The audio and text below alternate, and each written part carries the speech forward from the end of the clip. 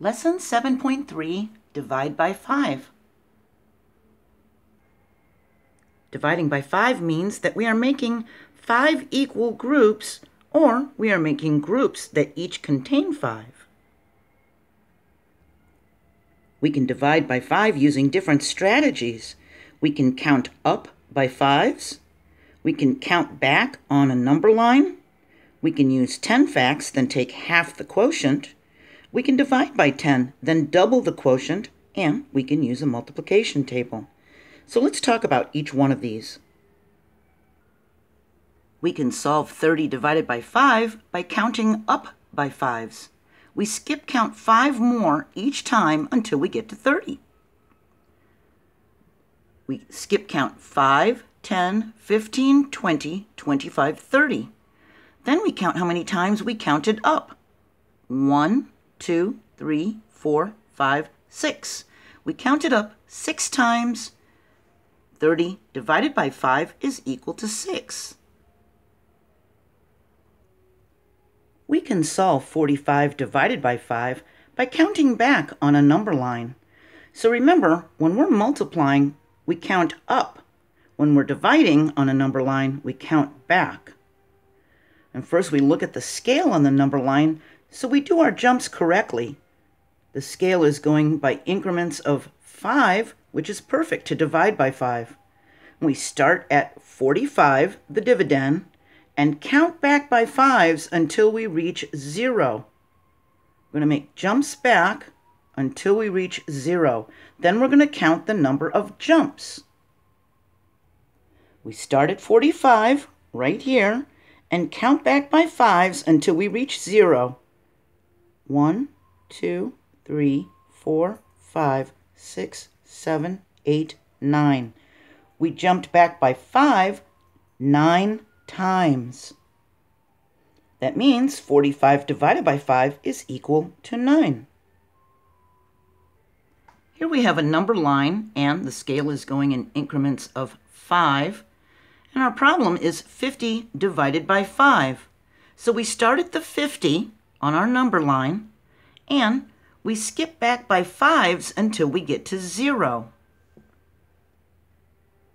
One, two, three, four, five, six, seven, eight, nine, ten. We made 10 jumps. 50 divided by 5 is equal to 10. Now, watch what happens on the number line if we do 50 divided by 10.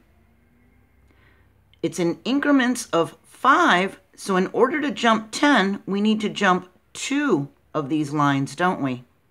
We start at the 50 and we make jumps of 10. 1, 2, 3, 4, 5. So 50 divided by 10 is equal to 5. If the divisor is 10, we jump back by tens until we get to zero. If the divisor is 5, we jump back by fives until we get to zero. We have learned how to use doubles to multiply when at least one factor is even. Here we have 3 times 8, and 8 is an even number. We can break it into doubles of 4 plus 4, and we can multiply 3 times 4 plus 3 times 4. We learned how to do that in video 4.3. If you missed it, there's a link in this description. So we can use doubles to multiply or divide with 5 by using facts for 10. We use facts for 10, then take half the product to multiply with 5. So this is to multiply with 5. We have 5 times 4, and we need to know the product. First, we multiply the factor 4 by a 10. We do 10 times 4, because that's easy. That's equal to 40. Now we have 40. We take half the product. And to do half, we can divide it by 2, right? Because when we divide something by 2, we split it into two equal shares. We split it in half. So 40 divided by 2 is equal to 20. So 5 times 4 is equal to 20. Because 5 is half of 10, we can use half of the product to find 5 times 4. See? Because 5 is half of 10, its product will be half of the factor and 10. See? 5 is half of 10, 20 is half of 40. We can divide by 10, then double the quotient to divide by 5. We can do this when the divisor is 5 and the dividend is an even number. We have 40 divided by 5. We need to find the quotient. First, we divide by 10. 40 divided by 10 is equal to 4. Then we double the quotient. We double the 4. We can do 4 plus 4 is equal to 8, or we could do 4 times 2. Either way, adding or multiplying by 2, we're going to double it, and it's going to equal 8. So that means 40 divided by 5 is equal to 8. We had four groups of 10, and we split them into four equal groups. See that? So that could be like 4 times 10. Here we have 40 in eight groups of 5. This 4 is half of that 8, but this 5 is half of that 10. Do you see that? Our dividend is the same, but 5 is half of this 10. But its quotient is going to be double that of 10 because we split it into more small groups. See, instead of a few big groups. We can use a multiplication table to divide by 5. Here we have 35 divided by 5, and we need to find the quotient. So we find the column for 5. It's right here. And we follow it down until we see 35. Then we go across to the left to find the unknown factor. It's a 7. We could also find the row for 5 and follow it across to 35 and then go up to see that it's a 7. 35 divided by 5 is equal to 7. If you look on my JoAnn's School Facebook page, in the image section, you'll see some blank multiplication tables that you can fill out to practice, and you'll see one that has all the answers filled in it. And you can copy paste it and print it for your work if you need a multiplication table. So I know some parts of this lesson may have been confusing to some of you, so let's look at this. We can see a pattern when we compare multiplication by 10 and 5. Here we have 10 times 1, which is equal to 10, and 5 times 1, which is equal to 5.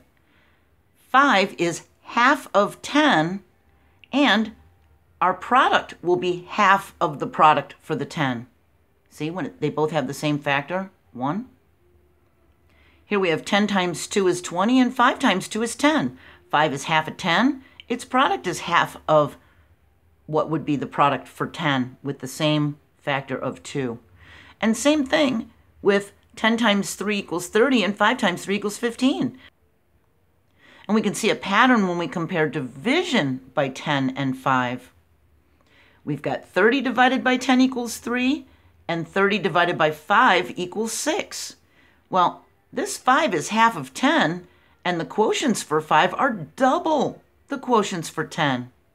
When we were comparing the multiplication, 5 was half of 10, and its product was half of the product for 10. See? Now 5 is half of 10, but its quotient is double that.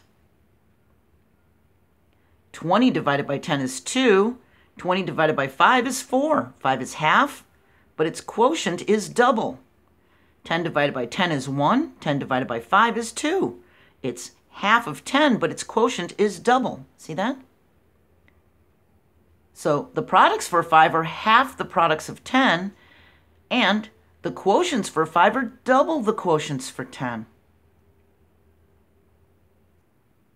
Lisa works 40 hours a week. she works an equal number of hours on Monday through Friday. She works an extra 10 hours on Saturday. So, how many hours per day does she work on each weekday? First, let's circle the important information. We know she works 40 hours a week, and she works an equal number of hours on Monday through Friday. It's also important that she works 10 hours on Saturday. We need to find the total weekday hours first by subtracting the hours she works on Saturday because a Saturday is a weekend, isn't it? It's not a weekday. She works 40 hours a week. We take away the 10 hours she works on Saturday. That's equal to 30 hours worked on the weekdays. And there's five weekdays. We have Monday, Tuesday, Wednesday, Thursday, Friday. That's five of them. So we need to divide her weekday work hours by five. We have 30 left for the weekdays. We divide it by the five weekdays, and it's equal to six hours each weekday. And to solve this problem, we had to do subtraction. We had to know how many weekdays there were in a week. Then we needed to divide. So remember, the product of a multiplication equation is the dividend in a related division equation. And the quotient of a division equation is an unknown factor in a related multiplication equation.